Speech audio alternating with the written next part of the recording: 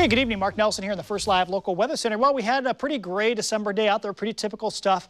What wasn't very typical was the warm temps. We made it into the low 50s here in Portland, a bit of a warm southwesterly breeze. Okay, still plenty of showers moving through at the 4.30 hour here.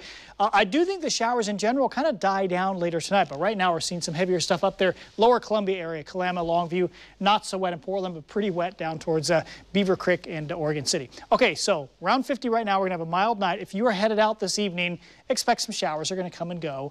I think after midnight, we will start to dry out just a little bit.